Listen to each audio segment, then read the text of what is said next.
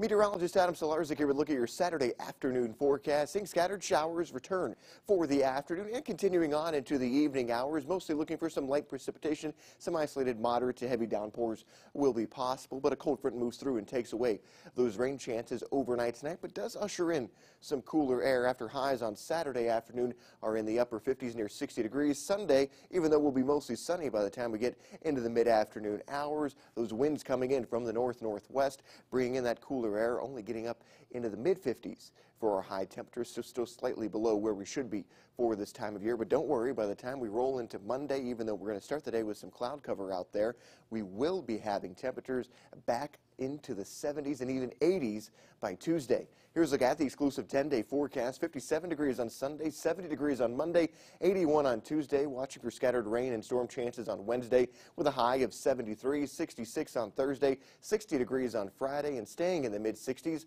for next weekend.